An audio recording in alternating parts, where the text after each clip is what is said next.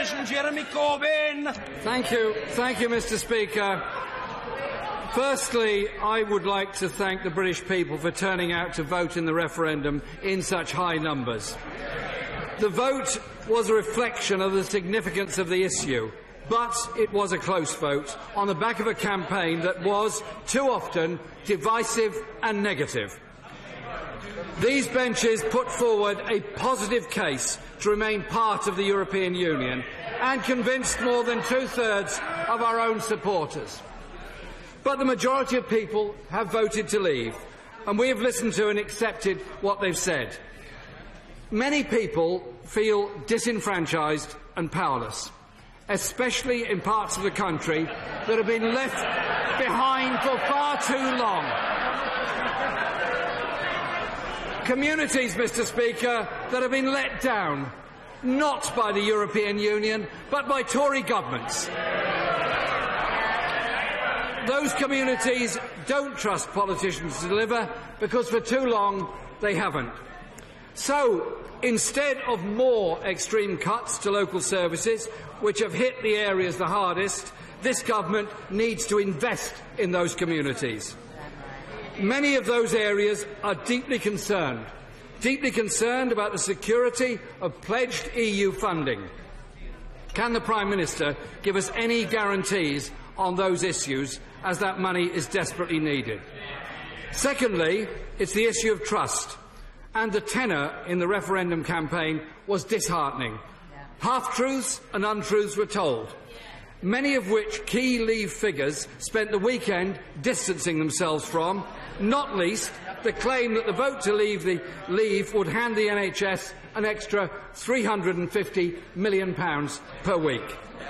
It is quite shameful that politicians made claims they knew to be false and promises they knew could not be delivered. Thirdly, real concern exists about immigration, but too much of the discussion in the referendum campaign was intemperate and divisive.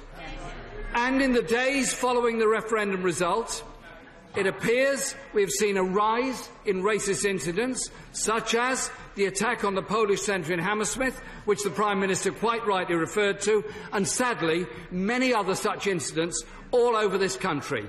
I hope the Prime Minister and Home Secretary will take all action they can to halt these attacks, halt this disgraceful racist behaviour on the streets of this country.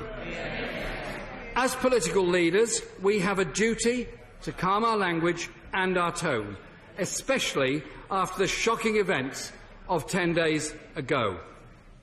Our country is divided, and the country will thank neither the benches in front of me nor those behind for indulging in internal factioning manoeuvring at this time. We have.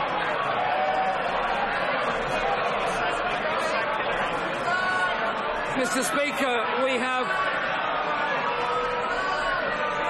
Mr. Speaker, we have serious matters to discuss in this House and in the country. And I want to accommodate as many as possible of those colleagues who wish to question the Prime Minister. Matters are just slowed up if people make a lot of noise. I've got plenty of time. I don't know whether other people have. Jeremy Corbyn. Thank you, Mr. Speaker. It does appear that neither wing of the Tory government has an exit plan, which is why we're insisting that the Labour Party be fully engaged in the negotiations that lie ahead. We need the freedom to shape our economy for the future and protect social and employment rights while building new policies on trade, on migration, environmental protection and on investment.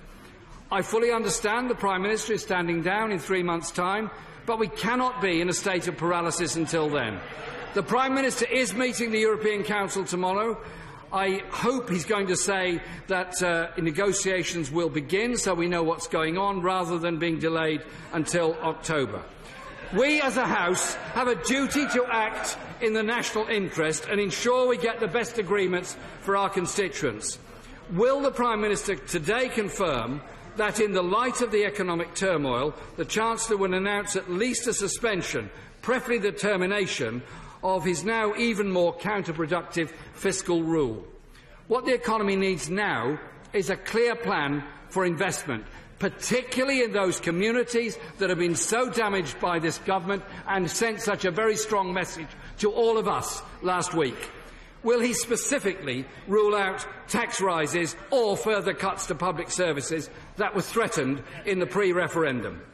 I welcome his assurances on the uncertainty felt by many EU nationals currently working in our economy, including the 52,000 who work so well and help our National Health Service to provide the service we all need.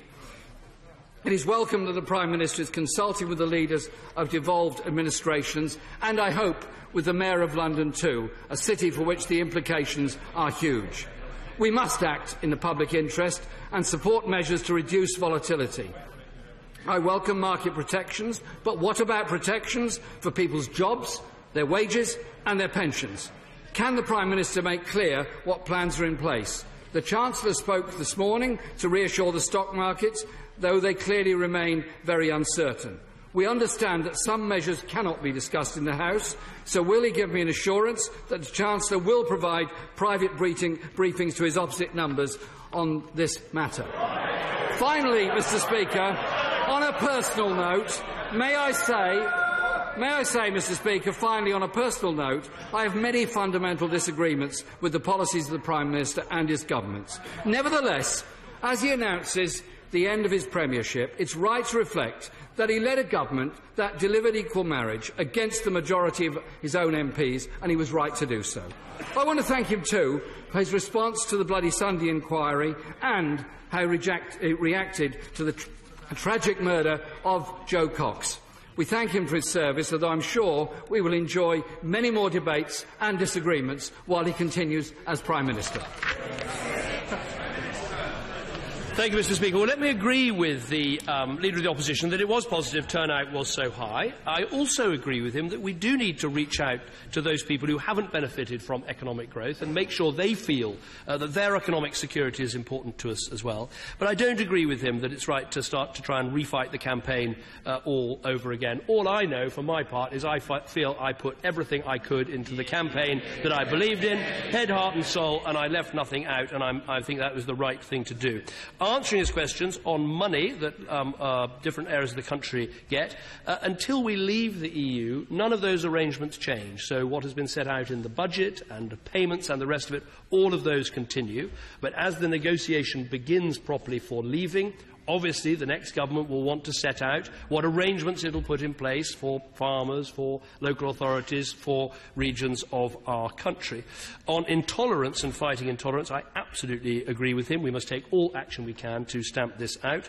Uh, he asked about the Chancellor's fiscal rule and also future plans. What I would say is that we have not worked so hard to get the budget deficit from 11% down to below 3% to see that go to waste. And we must continue to make sure that we have a sound and strong economic plan in our country. Uh, for the coming months, that is my responsibility and the Chancellor's responsibility. In time, it will be the responsibility of a new government, and they will have to decide how to react if, uh, if there are economic difficulties uh, along the way. He asked if there could be private briefings um, for members of the front bench with the Chancellor of the Exchequer as always in these uh, arrangements, if um, shadow cabinet members want those sorts of briefings, uh, they can have them. And can I finally thank him for his um, kind remarks and the fact that he hopes that we'll be debating with each other for some weeks and possibly months to come. Mr. Kenneth Clarke.